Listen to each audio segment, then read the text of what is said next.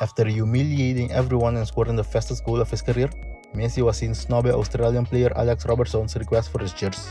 In October and then on to the Asian Cup.